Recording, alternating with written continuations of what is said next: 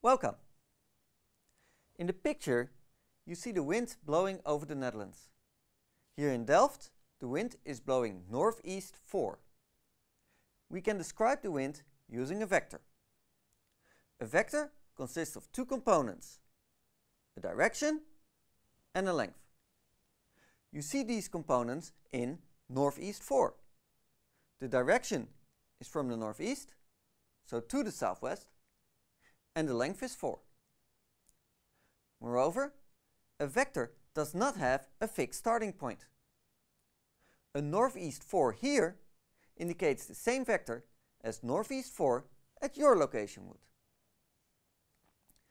In this example, you see that you can use a vector to describe a flow. A flow of water, but of course wind is a flow of air. Or electric charge down a wire. Or a flow of people moving from one place to the other work as well. Indeed, velocity, which is a vector describing how fast you are moving and which direction you are moving in, is in a way one of the most basic examples of a vector. Related to this is the displacement vector, which is the vector on a plane from one point to another. Another important concept that can be described using vectors is forces. The gravitational force on me has a direction, points downwards, and a size, some 600 Newton. Can you think of another concept that has a length and a direction so that it can be described using a vector? In the next video, you will learn how to describe vectors using numbers and coordinates. But in this video, you will develop a bit of an intuition about what the things that you will be calculating actually mean. So don't worry if you don't see any numbers today. First, a little bit about notation. As vectors are not numbers, we want to easily be able to distinguish between them. Thus, we typically use some sort of special notation to warn that we are dealing with a vector. In print, vectors are often printed boldface and upright, as opposed to italic. But this is really hard to do when writing yourself. So alternative options are to underline vectors or to put a little arrow above a vector. The last one is my personal favorite, as a vector is an arrow after all. For special kinds of vectors, even more notations are used. For example, by placing a caret on top of the letter. Sometimes, when you are sailing, the boat is lying dead in the water because there is no wind. On a windless day, we still want to describe the wind using a vector. The length of this vector is clear, it should be 0. But what is, is its direction? Well, if there's no wind, it does not have a direction either. So the wind is blowing along a vector of length 0 and without a direction. This is called the zero vector, which is the unique vector which does not have a direction. This vector is written as just the number 0 with the this is a vector notation. In this case, a bold 0. Now, consider three points in the plane, A, B and C. Two points define a vector, the vector from one point to the other. The vector from A to B is called simply AB. What happens if you first move from A to B and then from B to C? That's right. Effectively, you've moved from A to C. This explains the definition for vector addition. The sum of vectors AB and BC equals the vector AC.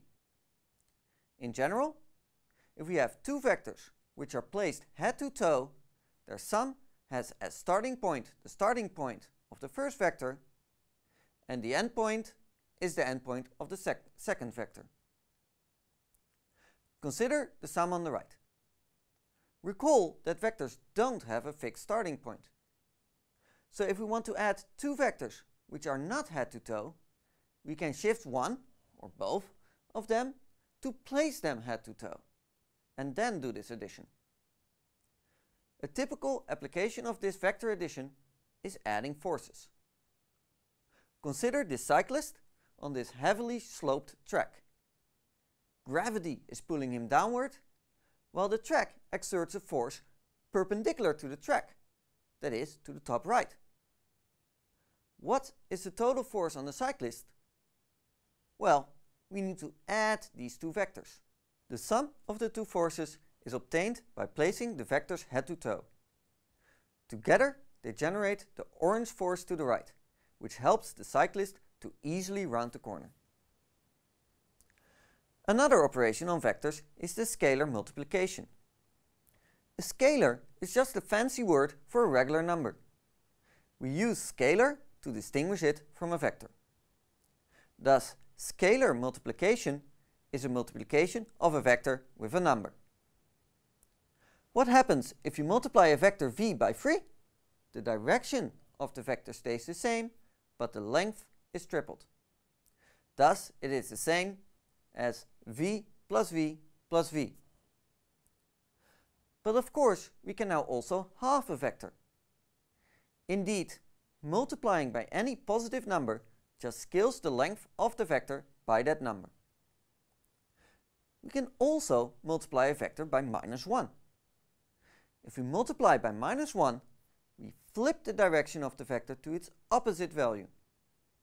The length is multiplied by the absolute value of minus 1, that is 1, so it stays the same.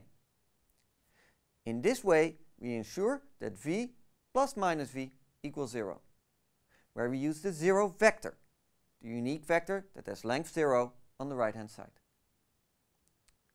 If we multiply by minus 2, the direction is flipped and the length is multiplied by 2.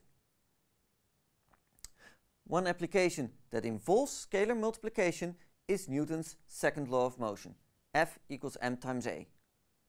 Here F is a force, and as we explained, this is a vector. m is the mass of an object, which is a scalar, and a is the acceleration, which is again a vector. Indeed, acceleration has a direction as well as a size. In the next video, you will learn how to describe vectors using numbers. But for now, try to just think about arrows in the following exercises. Goodbye.